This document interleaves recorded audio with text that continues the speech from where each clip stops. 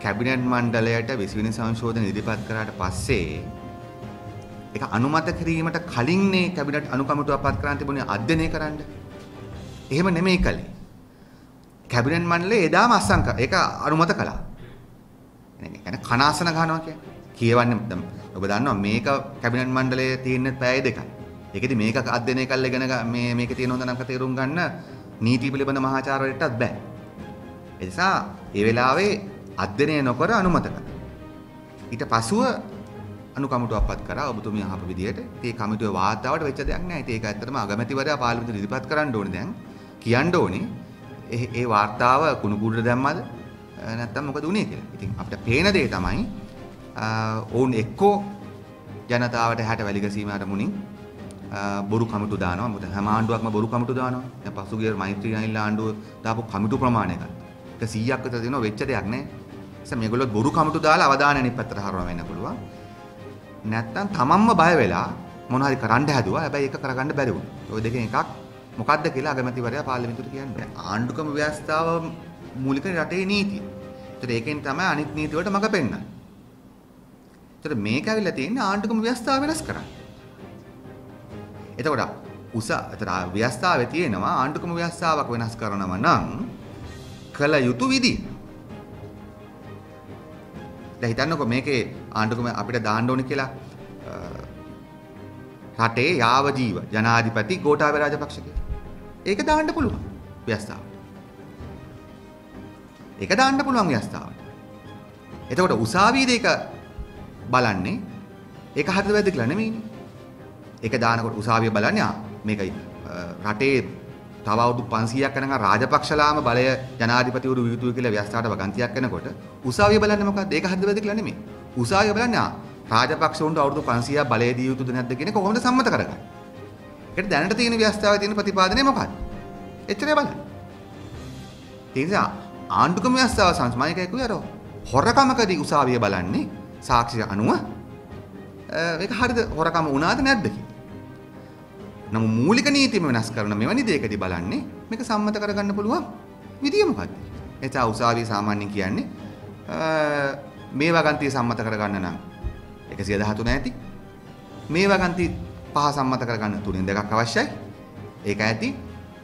මේ සමහර වගන්තියක් දෙන්න පුළුවන් මේකට ජනමත විචාරණයකට යන්න ඕනේ. ඉතින් ඊට වඩා දෙයක් උසාවිය කියන්නේ නැහැ. ඉතින් අපි මම ඒකයි කිව්වේ මේක දේශපාලන ප්‍රශ්නයක්. මෙහෙමයි. අපි මම මුලින්ම මේක පැහැදිලි කළා. අපි උසාවියනට විරුද්ධ නෙවෙයි. අපි අපේ නීතිඥ කණ්ඩායමක අවස්ථා ගණනාවක්ම සාකච්ඡා කරා. මොකද මේක මේක පරාජයටපත් කරන්න හැම කරන්න ඕන හැම දෙයක්ම කළ යුතුයි. ඒ ගැන සැකක් නැහැ. නමුත් ඒතර නීතිච්ච කණ්ඩායම උපදේශුත් අපිට තිබෙන දේශපාලන විඥානයත් එක්ක අපි මේක 18 වෙනි සංශෝධනයේ හරය තියෙන්නේ. ඒ පාර්ලිමේන්තුවේ මීට අවුරුදු 10කට කලින් සම්මත කරපු පනත. ඊට වඩා අමතරව තියෙන්නේ පොඩි කරුණු කීපයක්. ඒ නිසා තමයි අපි කල්පනා කළේ මේ වෙලාවේ මේකේ උසාවියට යෑමෙන් ලබා ගන්න පුළුවන් ඉඩ සහනයක් ලබ ඔය ජනමත විචාරණය සම්බන්ධ අදහසනේ තියෙන්නේ. ඒකට තියෙන ඉඩ කඩ අඩුව කියන අදහසම අපිට තියෙන්නේ. ඊට පස්සේ ජනමත විචාරණයකට ගියෝ. ඔබ බලන්න මේ අවුරුදු 2500 2500ටම මේ රටේ මූලික නීතිය ජනතාවගෙන් අහලා සම්මත කරලා නැහැ. අපි මේ මොන ප්‍රජාතන්ත්‍ර මාර්ගයක මේ ජනතාවගේ කපටි ආරක්ෂක කල්ලි දෙකක් 48 දෙනා රට පාලනය කරනවා. අපිට මූලික නීතියක් නැහැ 21 වෙනි සියවසේ දෙවෙනි ශතවර්ෂයේ දෙවෙනි දශකයේදී මිනිස්සු අනුමත කරනවා. එතකොට අපි දැන් මේ ඊටාම මූලික නීතිය අපි හදන්නේ නැතුව ජනමත විචාරණයකට ගිහිල්ලා ඒකේ ජනාධිපතිවරයාට අධික බලතල ලැබෙන කෑල්ල විතරක් ජනමත විචාරණයෙන් අනුමත කරගන්න සිදුන මොකද වෙන්නේ? ඔවුන්ට තියෙන කළු සල්ලි බලයක්, ඔවුන්ට තිබෙන මේ මාධ්‍ය බලහැනියත් පාවිච්චි කරලා සමහර ජනමත විචාරණයක් වුණා දෙයක් දෙයක් නෑ කරන්න පුළුවන්. ඒතර වෙන දේ තමයි රටේ මූලික නීතිය සම්මතලා නැහැ ජනතාවගේ. හැබැයි මේ ඊටාම යක්ෂ නීතිය මේ යක්ෂ ලියවිල්ල කළුසල්ලි බලයත් තමට තියෙන දේශපාලන බලයත් ඔක්කොම පාවිච්චි කරලා දිනාගත්තොත් මොකද වෙන්නේ? මූලික ව්‍යවස්ථාවට වඩා ලොකු වෙනවා ජනතාවගෙන් ඡන්දෙන් දිනපු මේක. අපිට මේ යක්ෂ නීතියට ජනතාවගේ අස්සන ආරම්භ දෙන්න අවශ්‍යතාවයක් නැහැ. පැහැදිලි. එහෙනම් ඊට වඩා හොඳයි අර ඒ විශේෂඥ කමිටුවෙන් හදනවා කියන අලුත් අවස්ථාව. ඒක මොකක් වුණත්. එහෙනම් ඒක ජනමත දානකට දාන්නම වෙනවා. ඒක ඒකට උසාවිය යන එක වෙනම කතාවක්. නිසා මේ දේශපා අපි දේශපාලනය කළ යුතු නැහැ. ආණ්ඩුවට මේ පුල් ටෝස් දාලා දෙන්න ඕනේ. නැහැ. ඉතින් ඒකයි මම කිව්වේ මේ අර දේශපාලන මැනීමක් එක අපි මේ වෙලාවේ අධිකරණය අධිකරණයට යාම පිළිබඳ අපි ඒකට විරුද්ධ නැහැ ඕන කෙනෙක්ට යන්න පුළුවන්. ඒ උත්සාහ කිරීම සම්බන්ධ අපිට විරුද්ධයි අපි ඉන්න ස්ථාවරේ ඒක. දැන් නව ව්‍යස් ඒ කියන්නේ මිනිසු කියන වෙනසක් අවශ්‍යයි. ඉතින් මේකත් ඉතින් වෙනසක් තමයි. නේ මිනිසු කියන අරාජිකත්වයේ හොඳ නැහැ ඉතින් මිනිස්සු ඒ නිසා ඒකාධිපතිත්වයේ කියනවා. හරි. ඒ කියන්නේ ඒ කියන්නේ මේ පාලක කල්ලි දක්ෂයි මිනිසුන්ගේ ප්‍රශ්නේ ගසා ගන්න ගසා කාලා මිනිස්සුන්ගේ කැමැත්ත අරන් දෙනවා උන්ට ගැති ජනමාධ්‍ය හරහා දැන් ඇත්තට මේ අර මේක තියෙන්නේ මේ අර අර කැමැත්තෙන් යටත් වීමක් නේ ජනතාව තුළදී. ජනතාව කැමැත්තෙන් යටත් වෙනවා මේ. ඒ කැමැත්තෙන් යටත් වෙන්නේ ජන මතය සකස් කරනවා කැමැත්තෙන් යටත් වෙන්න පුළුවන් වෙන විදියට.